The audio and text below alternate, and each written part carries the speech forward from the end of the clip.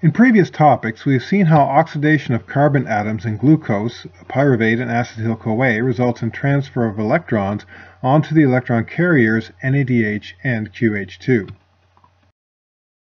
In this topic, I will explain how transfer of those electrons to molecular oxygen, O2, allows phosphorylation of ADP to produce ATP.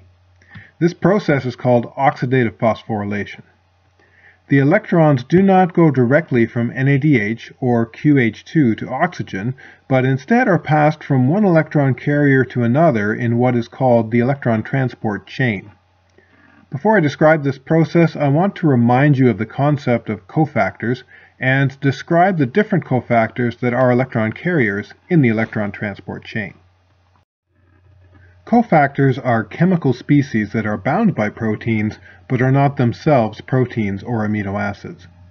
Remember that proteins are polypeptide chains composed mainly of 20 common amino acid residues linked together in a linear polymer. The 20 amino acid side chains have a variety of functional groups with different chemical properties, but some chemical reactions require chemical properties that the 20 common amino acid side chains just don't have. It is very helpful then for proteins to be able to bind non-protein groups that allow them to catalyze reactions or perform functions that they would not be able to otherwise. This chart divides cofactors into two main groups, metal ions and coenzymes. Coenzymes are typically organic molecules such as NADH or coenzyme A. Coenzymes can be further divided into those that are permanently associated with a protein called prosthetic groups and those that are bound only transiently, which are called cosubstrates on this diagram. We will see examples of all three main types of cofactors as we go through the electron carriers of the electron transport chain.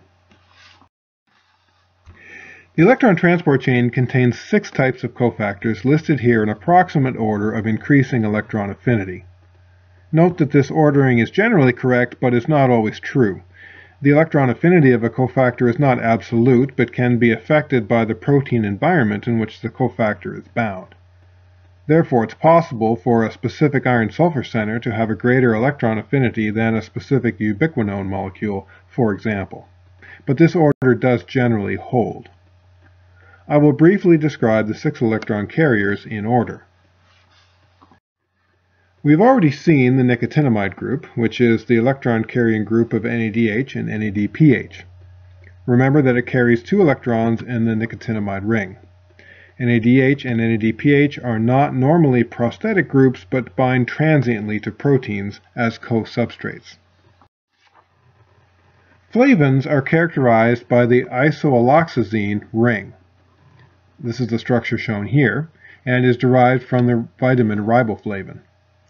Like the nicotinamide group, flavins pick up two electrons at a time.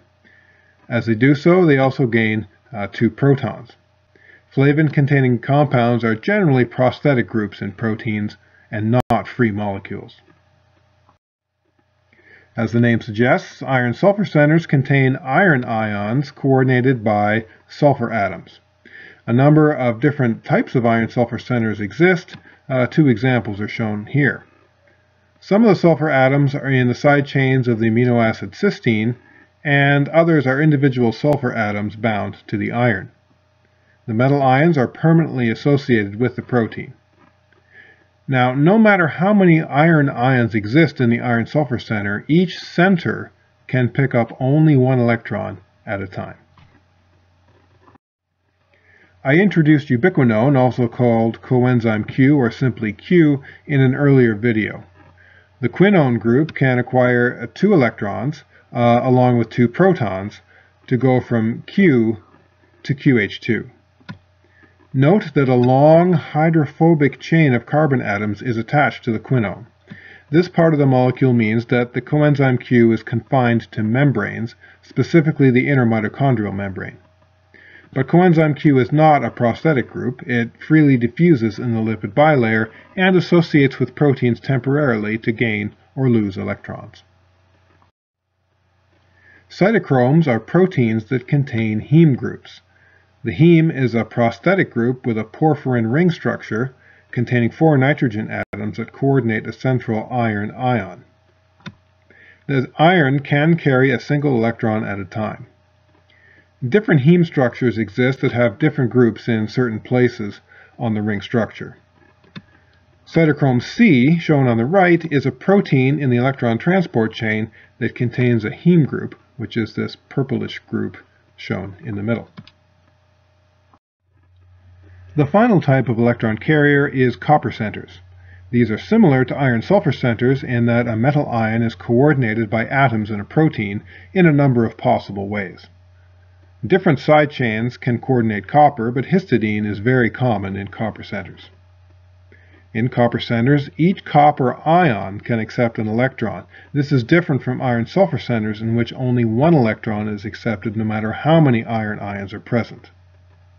So this 2 copper center could pick up two electrons at the same time, one electron on each copper. Now that we've gone through all the electron carriers and the electron transport chain, we can start to look at the protein complexes in the chain in the next video.